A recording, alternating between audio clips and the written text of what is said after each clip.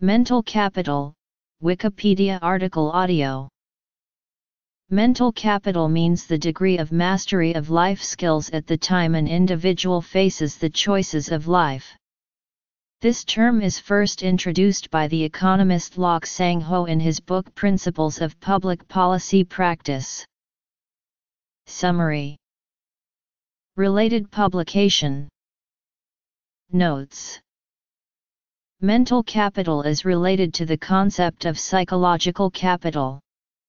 In the psychology literature, psychological capital is usually taken to comprise hope, self-efficacy, optimism, and resiliency. These four cornerstones of psychological capital are all attitudinal.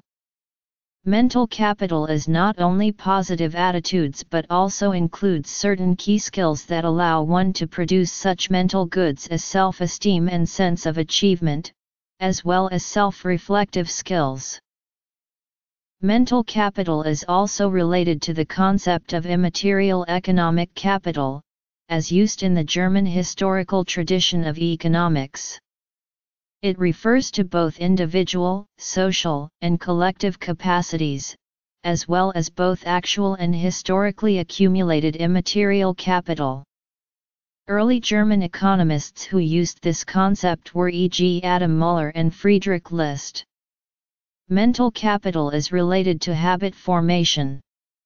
When habit is formed, to the extent that it serves the interest of the individual over the long term, it is mental capital. To the extent that a habit hurts the interest of the individual over the long term, it is negative mental capital.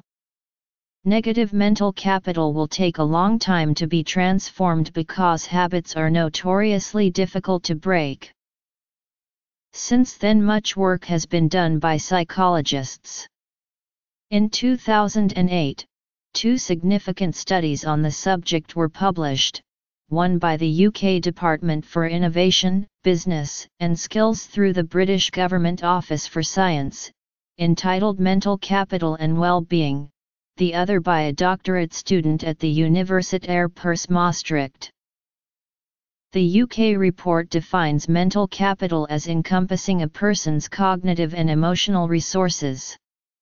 It includes their cognitive ability, how flexible and efficient they are at learning, and their emotional intelligence, such as their social skills and resilience in the face of stress.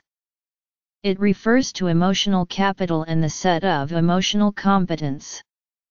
It therefore conditions how well an individual is able to contribute effectively to society, and also to experience a high personal quality of life. Lok Sang Ho sees mental capital as an input into the production of such mental goods as sense of security, self-esteem, inner peace, confidence, sense of autonomy, etc.